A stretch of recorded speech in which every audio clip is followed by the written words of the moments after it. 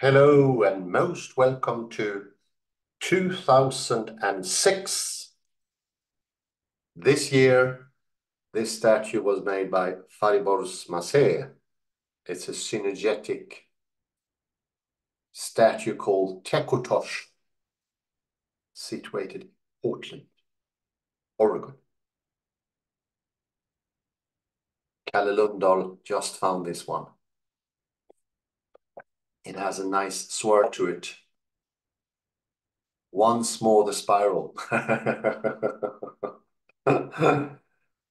Wherever we turn, we find the spirals. Isn't that amazing?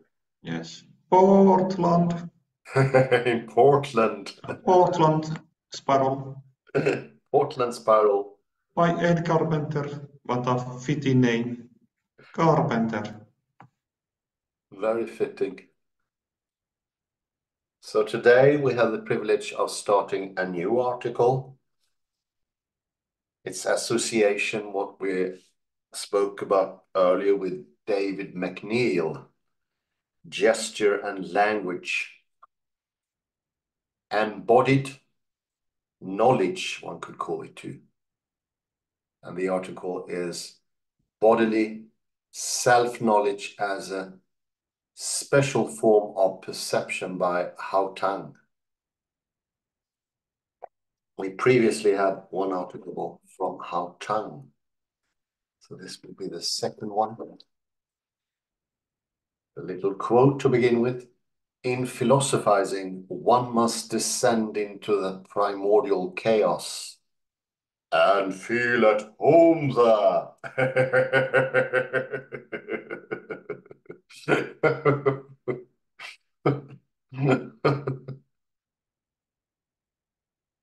I feel at home there.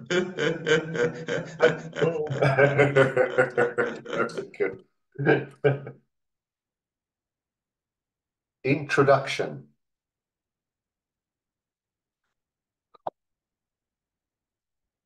We normally enjoy immediate knowledge of our body, of the presence, position, and movement of our own limbs.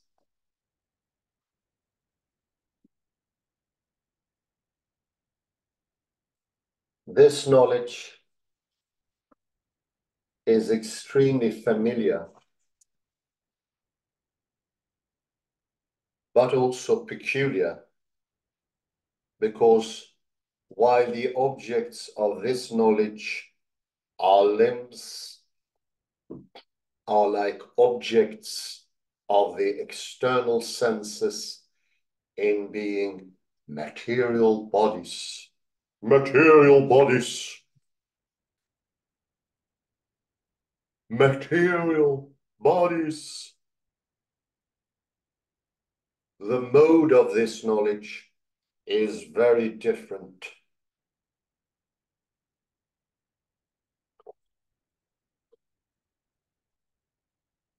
It is knowledge from the first person angle or from within. From within.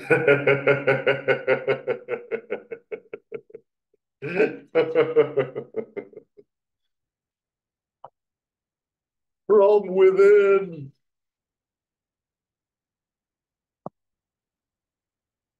So there is a peculiar combination of materiality and interiority in this knowledge. In this knowledge.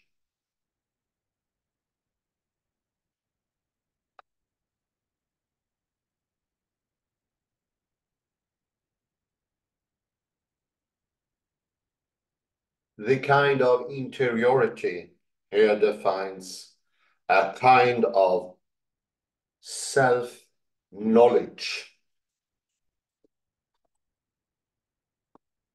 Self-knowledge, Kamineko, self-knowledge. Self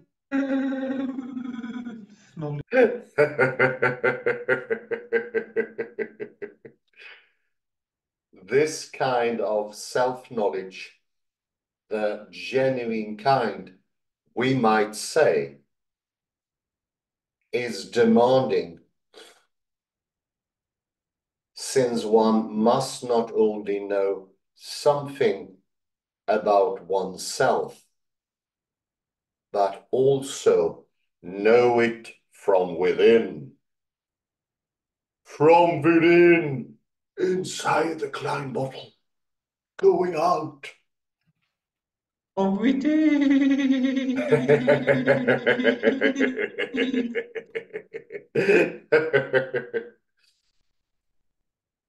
Knowledge from within of one's own limbs or bodily self-knowledge is obviously important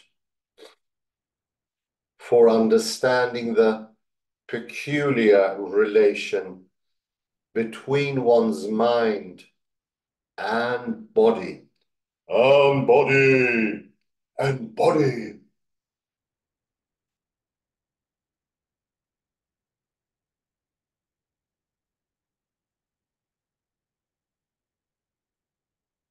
This paper develops an understanding of this knowledge by pursuing a particular question.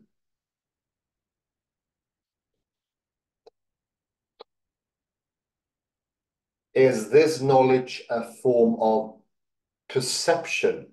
Perception, perception.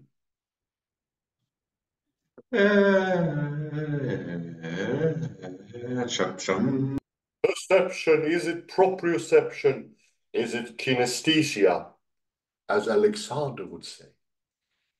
Many think it is, treating it as a sixth sense analogous to the usual five.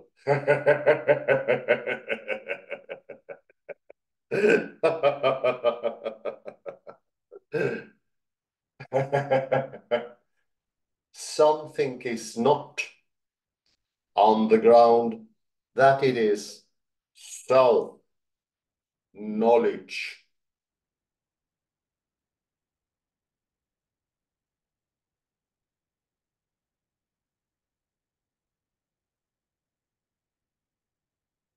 I shall attempt a synthesis and argue for a middle view. This knowledge is a special form of perception. A special form of perception.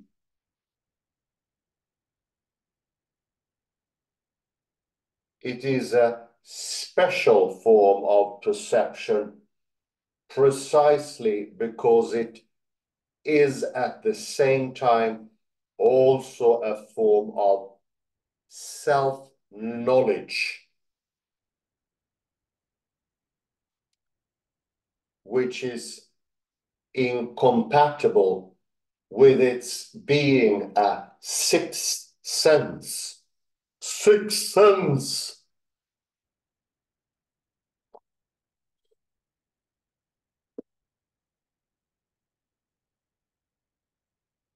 Yet it is a special form of perception because this knowledge is essentially sensuous. Sensuous, sensuous.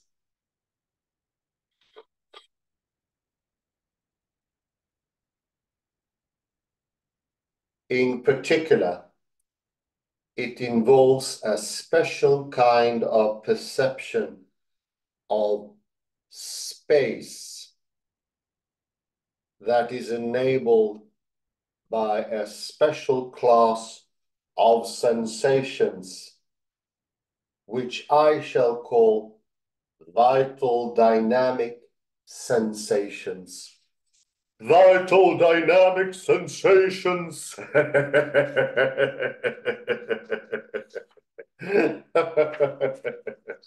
Our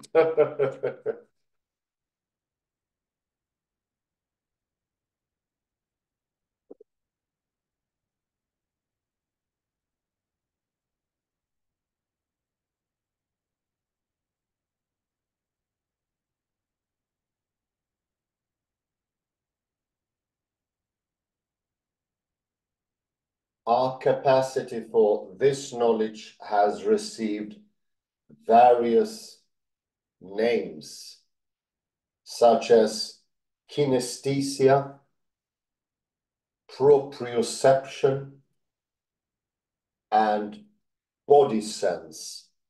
Body sense, body sense.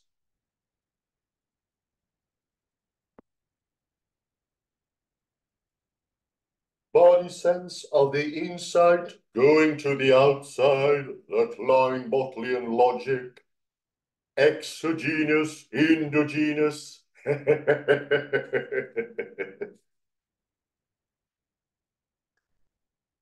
I shall favor proprioception. Proprioception. Proprioception, echo.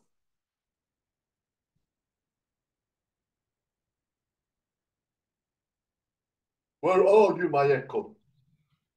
Proprioception. Proprioception. Proprioception. I love you, proprioception. Ah, proprioception. Proprioception, as also mentioned by David Bohm. These names suggest or declare that proprioception is perceptual. But this is producial because these names themselves need justification.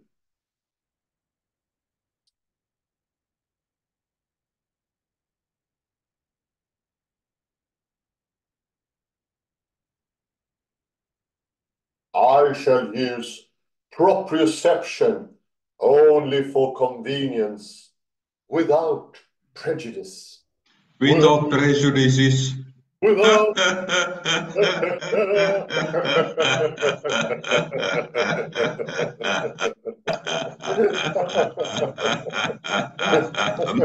I shall use proprioception without prejudices. Prejudice.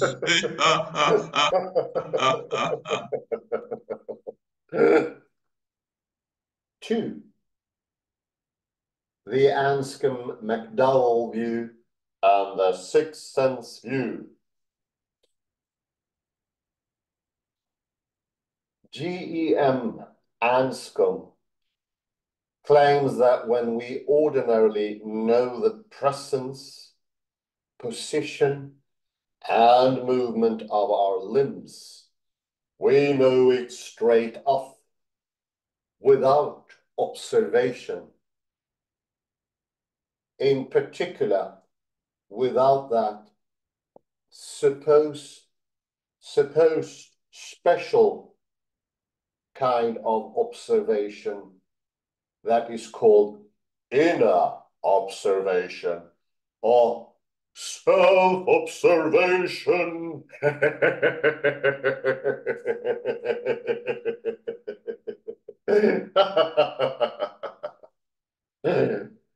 we all it we all know it from Alexander and Bohm and also Benjamin K. Bergen. This claim is made in the context of her investigation into practical knowledge.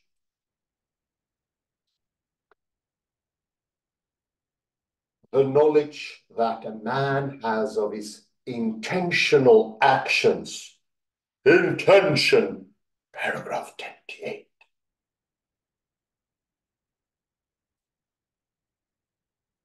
Practical knowledge is related to, but also distinct from proprioceptive knowledge.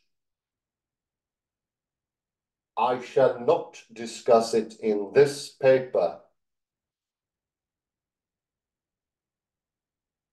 John McDowell follows Anscombe in proprioceptive knowledge.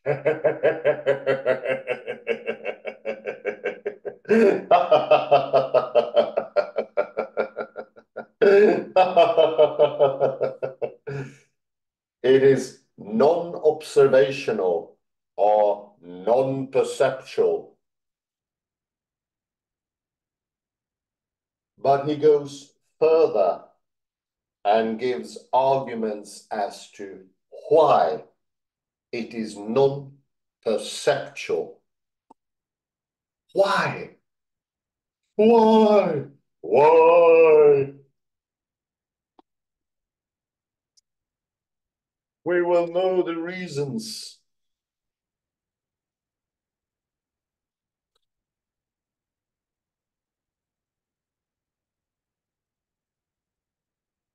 One argument McDowell gives is very general. Proprioception is non-perceptual because it is self-knowledge. Self-knowledge.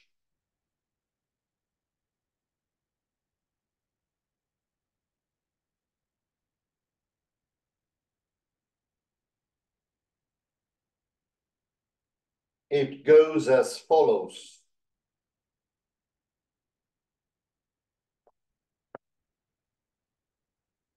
Perceptual knowledge is a species of receptive knowledge. Receptive knowledge.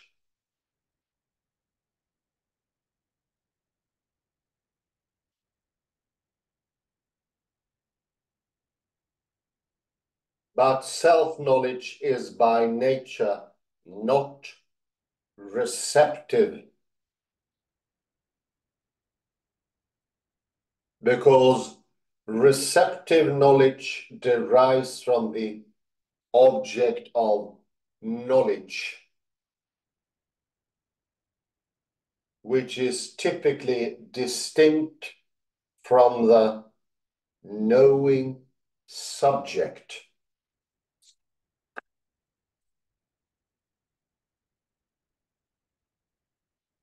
Mm -hmm. Interesting.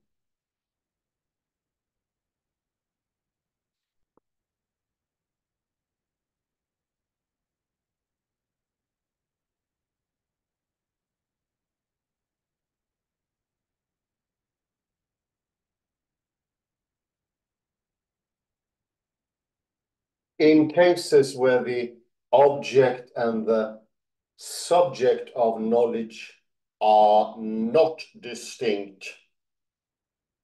For instance, not distinct. Not distinct. Come in, Eddie Murphy.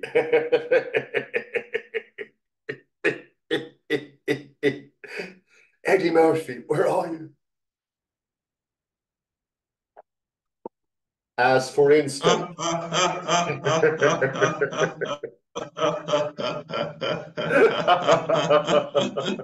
when one sees one's own hand.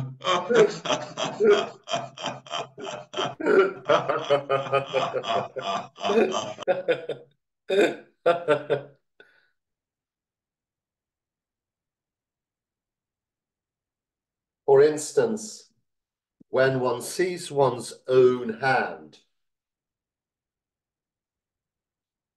the object is known as other, not as one self.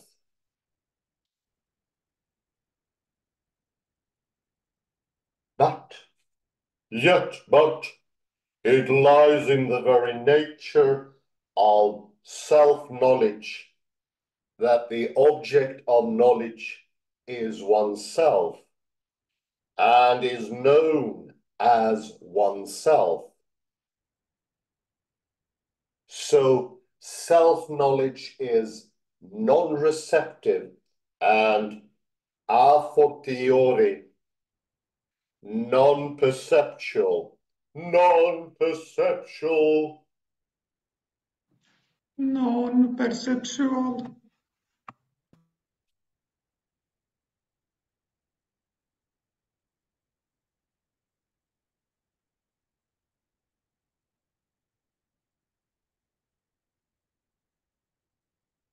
in concert with this general argument, McDowell also gives specific arguments for the same conclusion.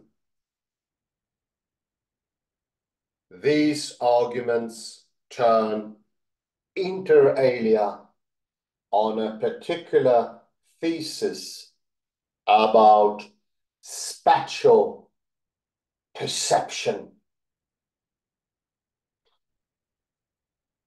which says that perception of spatial properties requires perception of secondary qualities.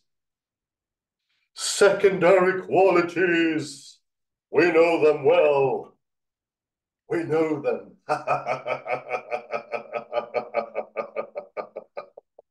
We know them well.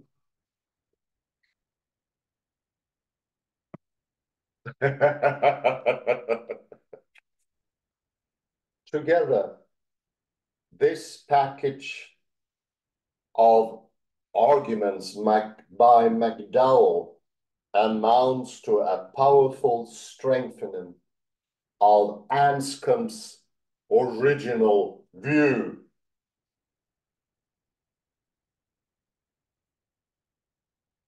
This view, which I shall call the Anscombe McDowell view, has two features. Positively, it emphasizes that proprioception is a form of self-knowledge.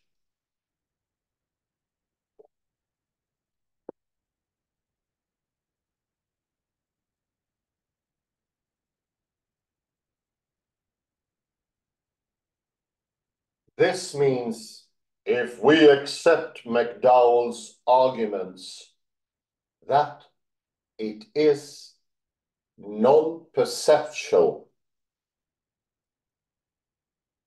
negatively, it downplays the role of sensation in proprioception. Sensation in proprioception.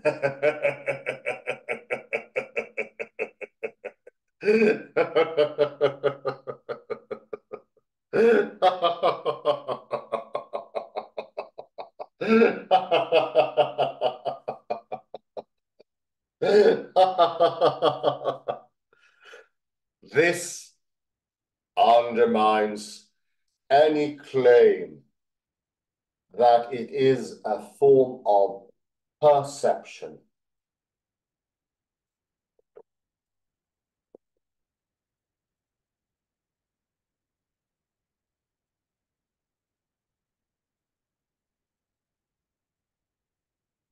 Now, many people hold an opposite view. Proprioception is a form of perception. analogous to the customary five external senses. They are five.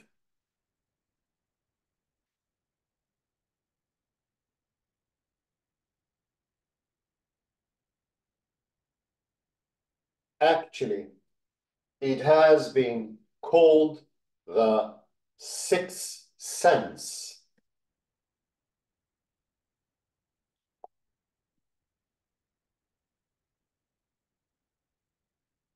This view is often assumed without discussion.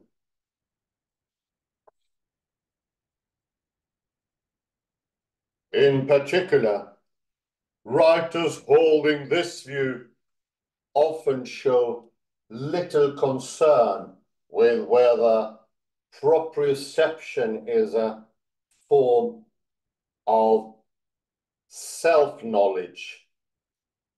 And if it is, whether this is compatible with its being perceptual. Perceptual!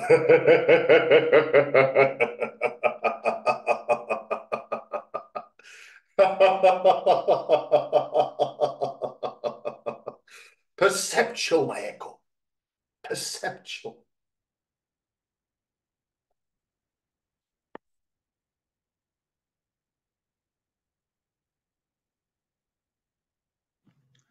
Perceptual.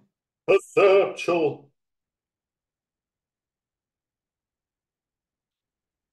Rather, this view seems to be mainly based on the conviction that sensations play a crucial role in proprioception.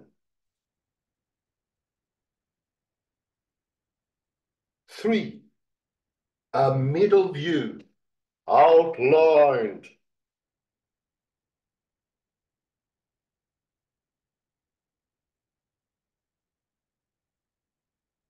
I think both views contain important insights, but neither gets it quite right.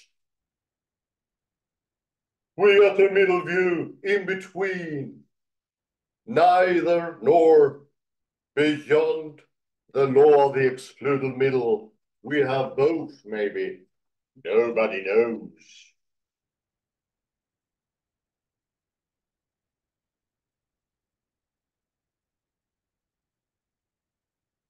What is insightful about the Anscombe McDowell view is its insistence that proprioception is a form of self-knowledge. Knowledge! Self-knowledge.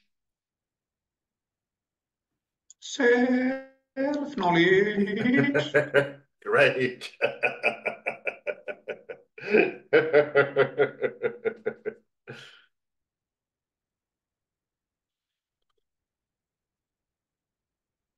The main shortcoming of this view is that in downplaying the role of sensations, it threatens to make proprioceptive knowledge anesthetic. Anesthetic? Anesthetic. Ouch. Ouch. Oh dear. Ouch. What should we do? Oh, my lord.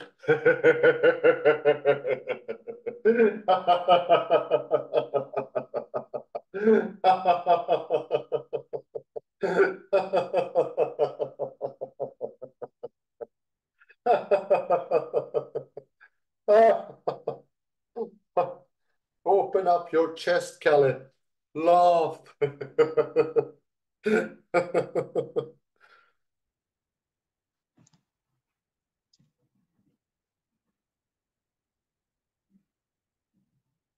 This role is rightly recognized as crucial by the sixth sense view.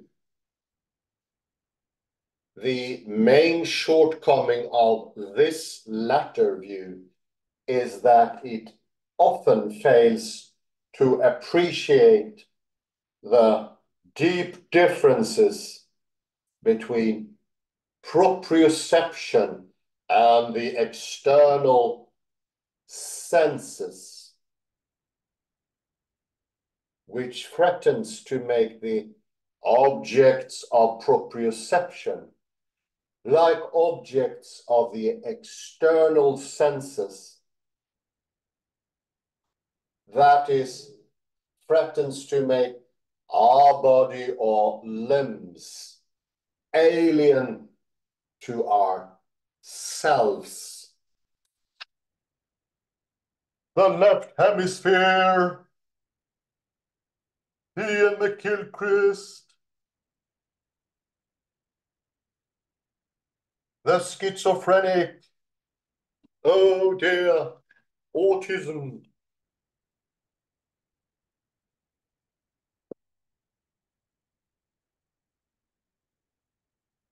A proper synthesis must preserve both the sensuous nature of proprioception and its interiority.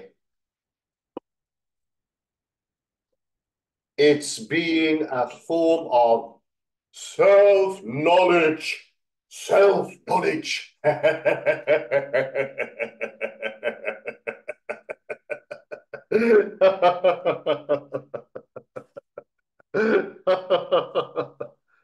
Self-knowledge.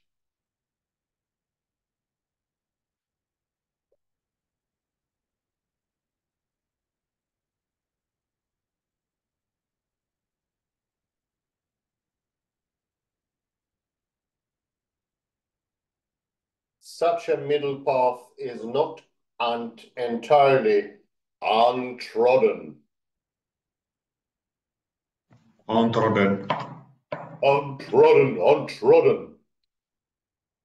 Brian O'Shaughnessy, in his profound work on the notion of body image, has provided materials essential for achieving such a synthesis. Synthesis. Synthesis. Synthesis. Synthesis.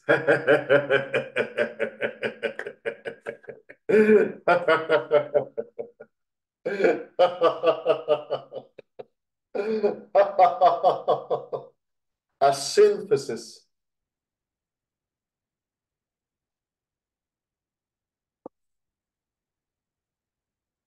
this notion of a body image, of a unique kind of mental map, body map maybe, like Couples Blakeslee, that relates one to one's body from within, enables us to say somewhat articulately articulately what we have known inarticulately since time immemorial, since time immemorial. Immemorial.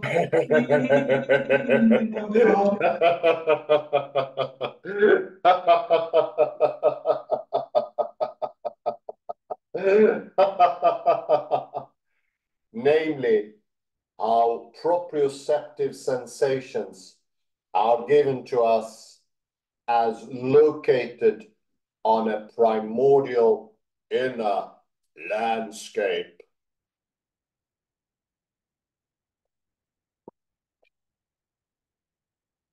One's own body as one relates it to it from within and through this givenness give one knowledge from within of the presence, position, and movement of one's limbs.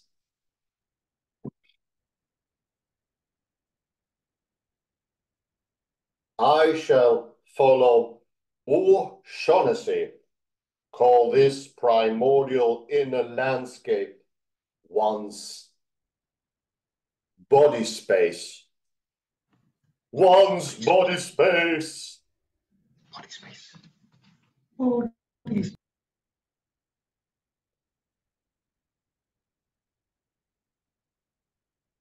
Four. The character of proprioceptive sensations inseparable inseparable.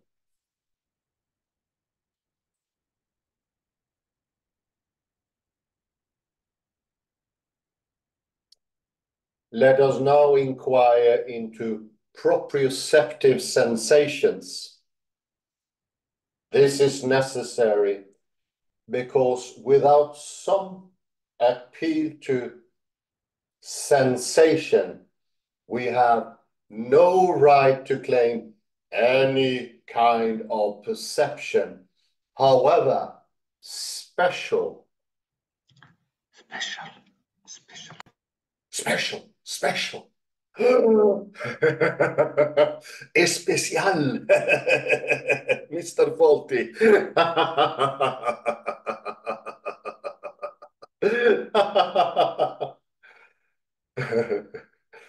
Proprioceptive sensations have the peculiar character of being, in a sense, characterless. To bring this out, consider a remark by Wittgenstein.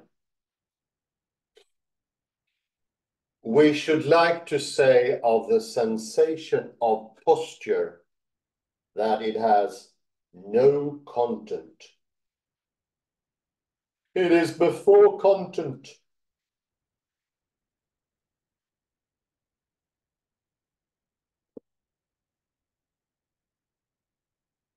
Before.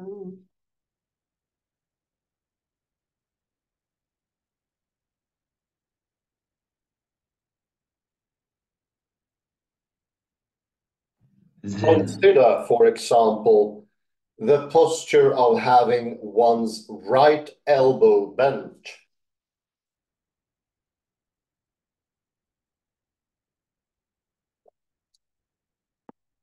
The postural sensation can be described thus.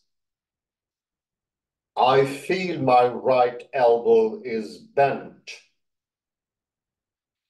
Now by no content, Wittgenstein cannot mean that my right elbow is bent, has no content, since it clearly has a content.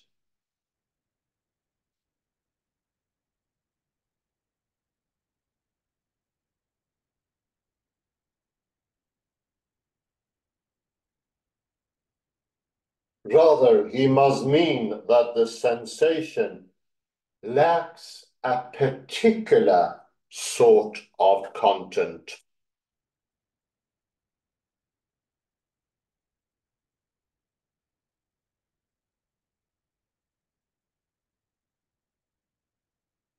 A plausible interpretation is there's no sensation of secondary quality. This point, whatever Wittgenstein himself thought, seems right.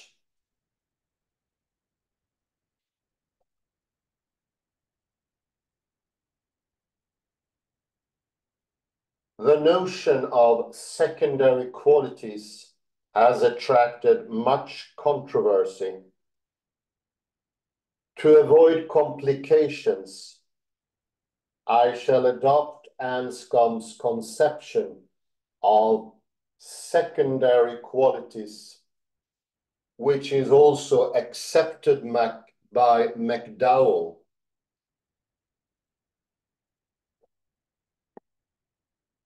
Her conception is contained in this passage.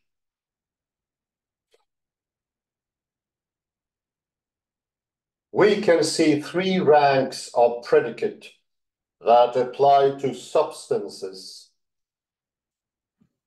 The substantial ones themselves, like alive, horse, horse. Ja, ja, ja.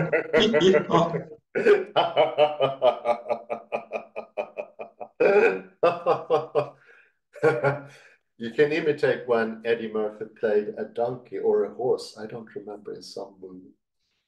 Iha, iha. Gold. The predicates that are not substantial but are substance involving, like malleable in powder form, awake. Predicates that are neither substantial nor substance involving. These are the secondary quality words together with such qualifications as go with them. And here I will make a stop. Stop! 2006. Oh no, oh no, stop. Sorry. Sorry. Last words, go with them. Or Oh. Anscombe, 98, 81. Just give me a Okay. second. Are we bit stop?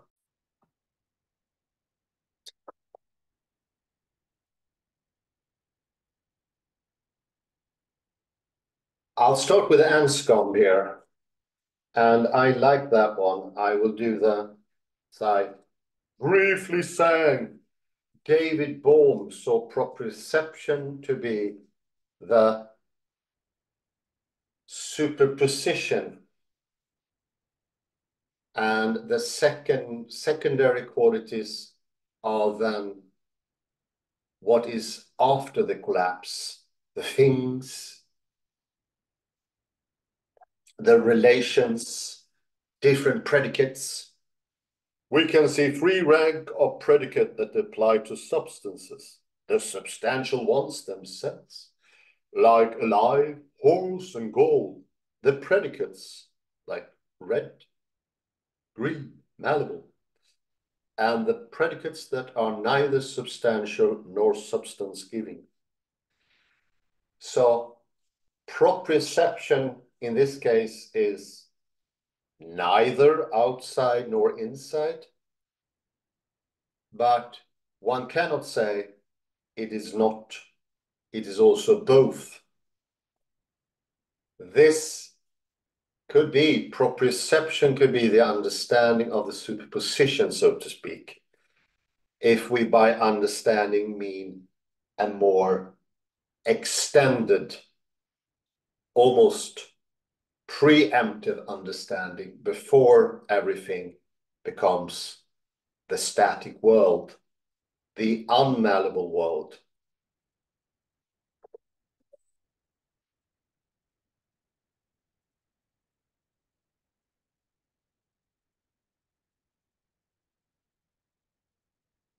Go to page 72. 72, please. And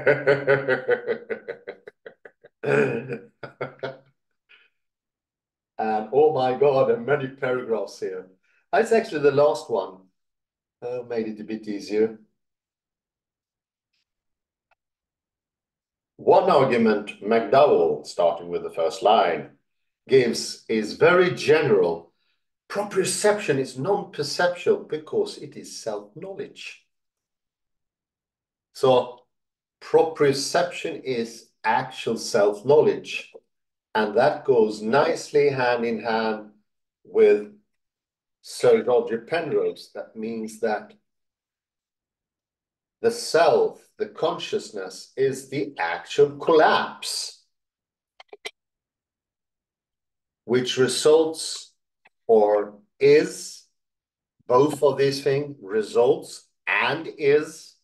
Be very careful. It's a causative and temporal aspect that should be put to the side.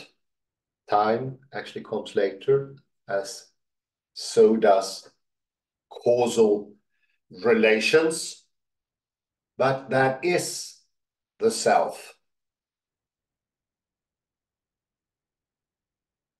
The implicit knowledge is the proprioception, which comes before, before in, in quotation marks, before everything else. it is the event.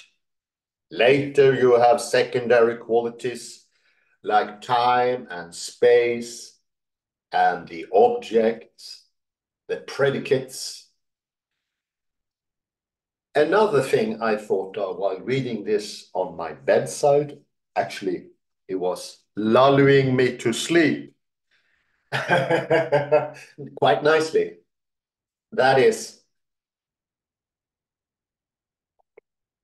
it is also very close to the right hemisphere taking in everything, the body and the outside. This is what the right hemisphere does. We know this. The matter with things and the master and his emissary, the most, the biggest collection of evidence has shown that the right hemisphere do mostly at least two things at the same time. It takes in the inner and the outer. And this, I would say, is uh, between the one and the zero. That is proprioception. It's not definite. And this is why Wittgenstein would say that later down here we say, but self-knowledge is by nature not receptive. It's not receptive. It doesn't take in something outsideness only.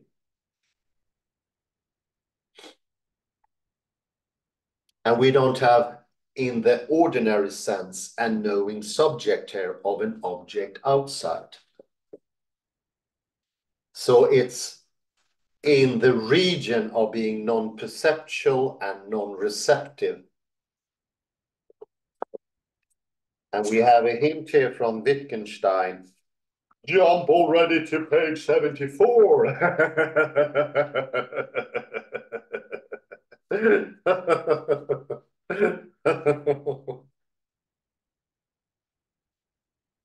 a beautiful little quote from RPP, we should like to say of the sensation of posture that it has no content. Why? In my view, it is because it is before, before content, before the cleft between subject and object. It is in the Klein bottle without volume. This beautiful photo that Kalle found the other day. Ah, I like it. It has volumetric, but they all amount to zero. it's absolutely fantastic. And that shows it doesn't have a content in the ordinary sense. But it's still, oh, you found it. Fantastic. That should be saved.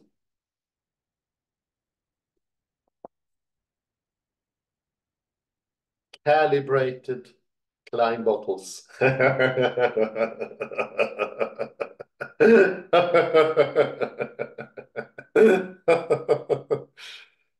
Posted probably as a joke, I don't know. Or is it graduated with calibration nines? Well, this is before content. Do you get it? This is before content. And we also have a beautiful, uh, we can keep to the Klein bottle. We also have a beautiful depiction of the Möbius strip, bringing the inside together with the outside in the most fantastic way. This is no content or before content. And this is why also it is enormously important with proprioception. It sort of is the one ring that decides all the other rings. It is the conscious control of the individual, as Alexander would have it. Primary control. it decides our living standard. and how we work, how we function. Kalle, please join. More than welcome to join. Thank you, thank you, thank you. Thank you.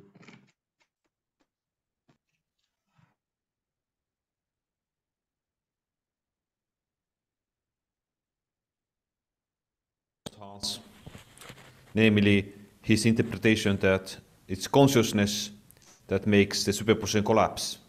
Did I understand correctly? Yeah, yeah, yeah, yeah, yeah, yeah, and even So this is uh, Penrose position, yes. Mm. Yeah, it's like consciousness. It was is the it's the same as the collapse even. But yeah, yeah. Mm. Mm. Um, You could I also say agree so- and sorry. You you could also say that Consciousness. I I agree and disagree. Hmm. Um, let comp let's compare with other body parts. hmm, The famous neologism wholeness with the W within parentheses. Oh yeah, yeah. Yeah, good Okay, one. so the point is here, the ear uh, makes perhaps the first superposition to collapse, or Mm, mm. rather, it's still, still when you use your ears, you have it in superposition. It's both. It could be both with W and without W, whole or wholeness, or rather whole. Uh, so when you use your ears, it's, it's still in um, superposition. The superposition has not yet collapsed. Oh yeah, definitely.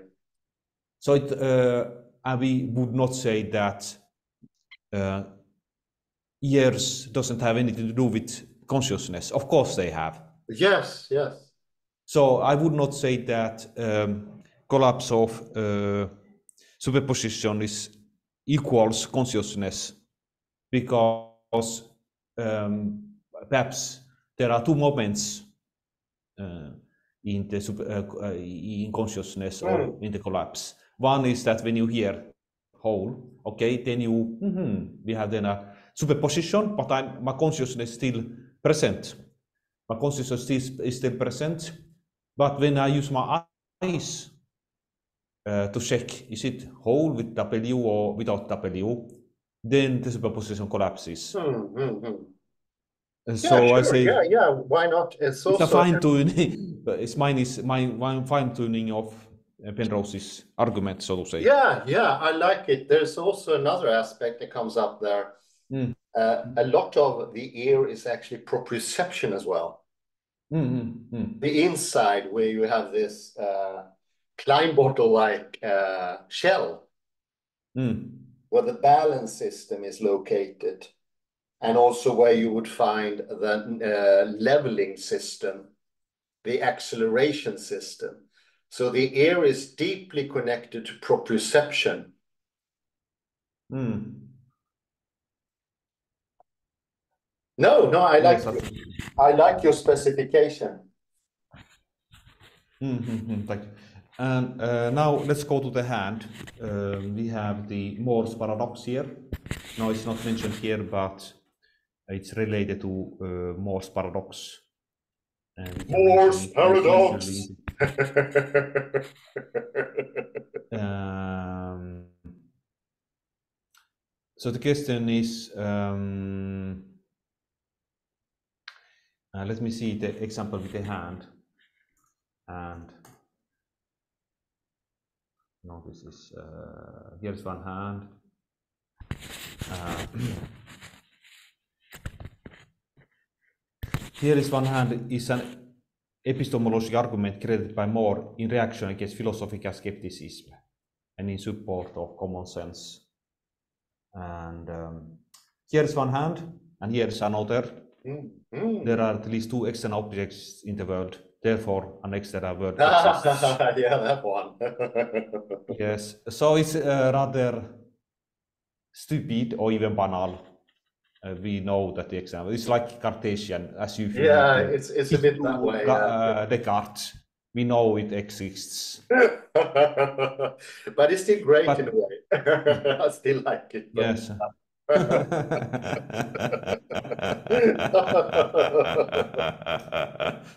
So like this, hmm, Descartes, here is one hand, here is another.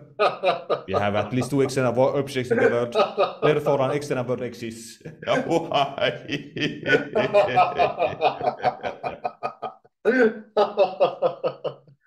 a fool, uh, uh, a fool's sake proof. no. Uh, yeah, how do you say foolproof sake uh, proof? Uh, fool's, uh, how, how would you say fool's sake proof? A waterproof. Waterproof, not fool's sake. Uh, waterproof. No, water, waterproof. but it was great. Thank you for that one. It made me laugh. I, I, don't feel uh, there's no superiority in, in, my case against GE more, but it's, it's a bit funny actually.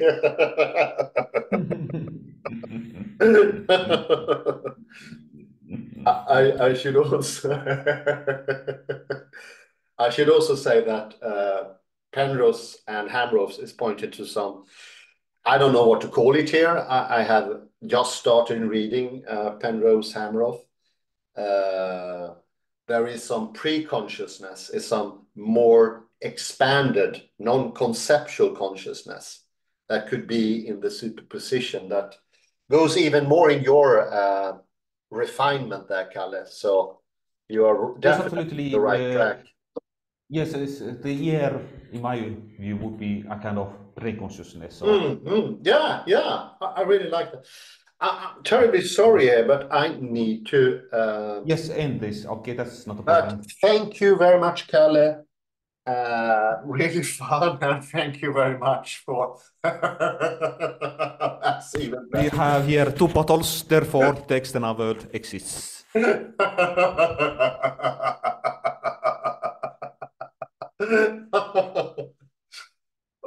thank you very much, Kalle Lundahl. Thank you, everyone, for coming in. Have a beautiful morning, day, or afternoon. Do remember to take everything with a laugh. Bye bye.